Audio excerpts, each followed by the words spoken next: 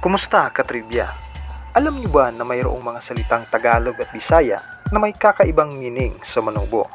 Dahil dito, kinakailangan ang pag-iingat sa paggamit ng mga salitang ito dahil maari itong magdulot ng kalituhan. Ano-ano kaya ang mga salitang ito?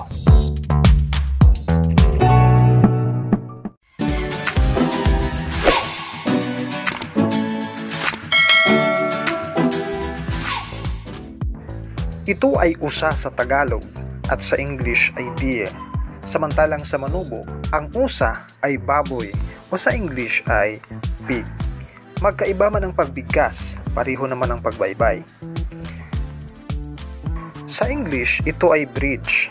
Tulay naman sa Tagalog at Bisaya. Samantalang sa Manubo, ang tulay ay earwax. Ang salitang kapoy sa Bisaya nang ibig sabihin sa Tagalog ay pagod ay may kakaibang meaning sa Manubo. Ang kapoy sa Manubo ay libog o malibog. Halimbawa, grabe kapoy tao-tao siyan. Ang ibig sabihin sa Tagalog, sobrang libog ng taong yan. Ang salitang laso sa Tagalog ay ribbon, habang ang laso sa Manubo ay tumutukoy sa male sex organ na penis.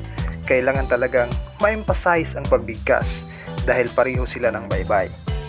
Ang salita namang kana sa Bisaya nang ibig sabihin ay yes, that's it ay kabaliktaran naman sa Manubo dahil ang kana na halos pareho lang ang tunog. Ang ibig sabihin ay no, that's not it.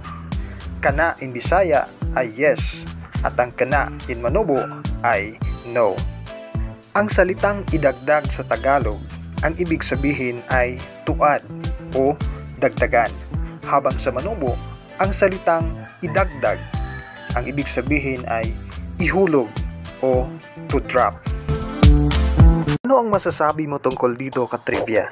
May idadagdag ka pa bang mga salita? Kung nagustuhan mo ang video ito, huwag kalimutang i-like, i-share, at mag-subscribe na rin sa ating channel.